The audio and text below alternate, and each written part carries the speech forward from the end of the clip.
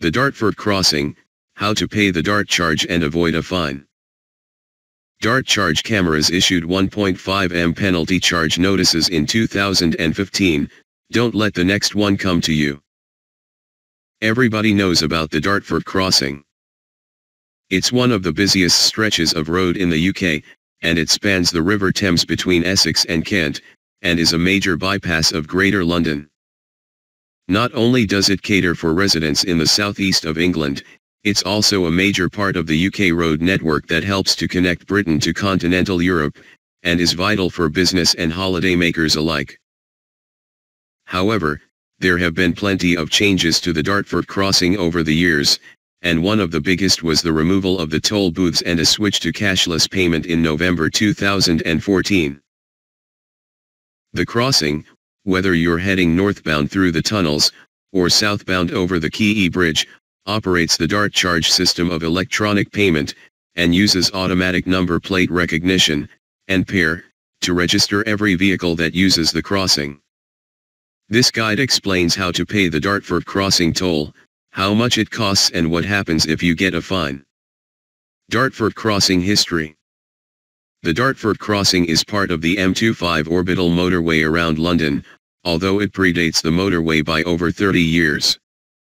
The first tunnel under the River Thames, which today is the most westerly bore, was started in the 1930s, but the outbreak of World War II postponed construction and it wasn't opened until 1960. By then, Essex and Kent County Councils had managed to successfully lobby the Ministry of Transport to establish a toll for using the crossing, this has remained in place ever since, although today it's referred to as a charge rather than a toll. The second tunnel was announced in 1970, but construction wasn't completed until 1980, after funding from the EEC guaranteed its completion. When it was opened, the combined capacity of both tunnels was 65,000 vehicles per day. The M25 was linked to the Dartford crossing in Essex in 1982, with the Kent side joined up four years later, by which time 79,000 vehicles per day were using the two tunnels. It took less time for the Queen Elizabeth II bridge to be constructed, Work was started in 1988, and it opened in 1991. The bridge was built by a private consortium, and at one time the tolls from the crossing were supposed to be in place until the construction of the bridge had been paid for. But a Transport Act in 2000 changed the toll to a charge that could continue to be levied, and from 2003 users have been paying a crossing charge rather than a toll. The last major update for the Dartford crossing was the removal of the toll booths, which were located on the Kent side of the Thames. These were removed in 2014 in an effort to reduce congestion at peak hours, and now crossing users have to pay by alternative means covered below. The effectiveness of this change is open to question, especially as soon after the toll booths were removed, work started on improving junction 30 31st of the M25, resulting in queues back through the Dartford Tunnel, and cancelling out the effect of removing the booths. While the Dartford crossing has been amalgamated into the M25, it's actually classified as the A282, which means traffic that isn't permitted on motorways is allowed to use it. Either way it's a major route for traffic heading from the UK to Europe via the Channel Tunnel and the busy ports of Dover and Felixstowe, and the average number of vehicles using it each day is 130,000, more than double the number of 1980. Dartford Crossing Charges Any vehicle that uses the Dartford Crossing has to pay a fee. Back when it opened in 1960, the charge was 2 shillings and sixpence, 12.5p, which was roughly the equivalent of £2 in 2015. Essex and Kent councils were given authority to raise tolls from 1967, and the charge for cars in 1984 was 60p.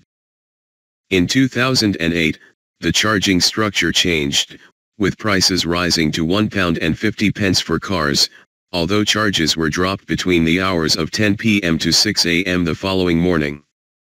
Four years later in 2012, the charge increased to £2 for cars, while the introduction of the DART charge and the removal of the booths in 2014 saw the crossing charge for cars rise to its current price of £2.50. The Dartford crossing charges vary depending on what you're driving, while setting up a prepaid online account gets you a discount on the cost every time you cross. The charges are as follows. Pay per crossing. Prepaid account. Motorcycles. Free. Free. Cars. 2 pounds and 50 pence. 1 pound and 67 pence. 2 axle goods vehicles. 3 2 pounds and 63 pence. Multi-axle goods vehicles. 6 pounds. 5 pounds and 19 pence. Charges apply from 6 a.m. to 10 p.m. every day, including holidays. Outside of these hours, the Dartford crossing is free to use for all vehicles. It's also worth noting that the current crop of pickup trucks are classified as two-axle goods vehicles, so face the higher pound 3.00 slash pound 2.63 charge. How to pay the DART charge. As you approach the Dartford crossing from either direction, there are plenty of road signs that inform you about ways to pay now that the booths have been removed. These start to appear well before the previous junctions, and if you're in a lane approaching the crossing with a large C painted in the road, then that means you're in a charge area. Obviously if you're crossing over the River Thames or find yourself in a long tunnel with a 50 miles per hour speed limit, then you're using the crossing, and if it's between 6 a.m. and 10 p.m., then you're going to have to pay. If you've used the Dartford crossing, then you have until 12 midnight of the following day to pay the crossing charge. Motorists have three ways to pay for using the tunnel or bridge, online, over the phone or at a shop with a Payzone terminal. Pay online. The Dart Charge website is the simplest way to pay. Enter the registration of your vehicle online, then you are given the option to pay for the number of crossings you have done. One benefit of the DART charge is that you can pay for crossings in advance, as any crossing payments you make are valid for up to 12 months if they remain unused. So for example, if you are planning a round trip that will use the Dartford crossing twice, then you can pay for two crossings for your vehicle. But if you don't use any of the crossings for whatever reason, they are then credited against your car's registration for 12 months. If you want to check whether a crossing has been paid for, you can check for paid crossings, by cross-referencing your payment receipt against your car's registration on the website. This gives a breakdown of dates and times when crossings have been recorded, so you can see if you need to pay for any additional crossings you may need. Prepay account. Set up a prepaid Dartford crossing account, and you can get discounts on your crossings. For cars it's a 33% saving, although it's not quite as big a saving for two-axle or multi-axle vehicles. For a prepay account, you just need to register your details and a vehicle, top up your account with £10, and you're on your way. With an account you get a full breakdown of your crossing history, your payments, you can top up manually or set an auto top up that credits your account when it dips below a certain amount, and your monthly statements. You can add up to 20 vehicles to the account, so it's perfect for fleet operators, although it's so simple to use it's worth just setting up an account for the savings, even if you only have one car. If you top up manually, you will automatically get an email informing you when your balance has dipped below £10 as a reminder to top up. Pay over the phone. You can pay over the phone using the automated payment system at 030030000120. This works in the same way as paying over the phone for parking, and you can manage your account in the same way as you can online. For the hard of hearing, the text phone service is available at 180300300300120. Pay by post. You can pay for a crossing in advance by sending this form to the following address, Dart Charge Customer Services, PO Box 842 Leeds LS19QF.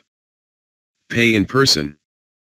If you can't pay online or don't have a debit or credit card, then you need to visit a Payzone outlet. These are usually located in newsagents, identifiable by the Payzone logo, so there should be one near you, check at payzone.co.uk, and they will accept cash payments. Again, you'll need your car's registration, you can pay in advance, or you have until 12 midnight of the following day to pay. Local residents. Motorists who live in the Dartford and Thurrock Council areas can apply for a DART charge discount. For £10 a year you can get 50 crossings, and any more than this are charged at 20p per crossing, while an annual payment of £20 gives you unlimited crossings. Eligible drivers need to provide two proofs of residence in the Thurrock or Dartford Council boundaries, plus proof of ownership or use of a vehicle. The offer is limited to one vehicle per application, and goods vehicles are only eligible if they are privately owned. What if I've got a DART charge fine? Highways agency figures have revealed that a staggering 1.5 m motorists were sent an automatic penalty charge notice in 2015, after using the Dartford crossing and not paying the DART charge in time.